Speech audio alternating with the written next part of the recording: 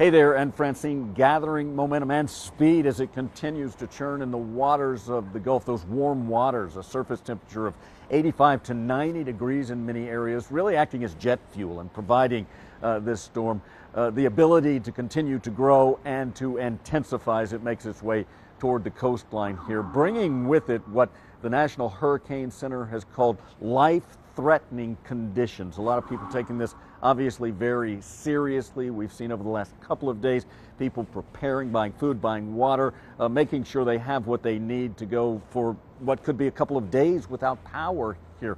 We also know that the governor has opened shelters not only here in Orleans Parish, but in at least three other parishes across the state. He has issued a state of emergency at this point. There are evacuation orders in some of the parishes along the coastline here. And now it's just a process of watching and waiting, seeing if this storm jogs a little bit before it makes landfall along the Louisiana coast sometime later this evening. That's the latest from here in New Orleans. I'm Jay Gray. Now back to you.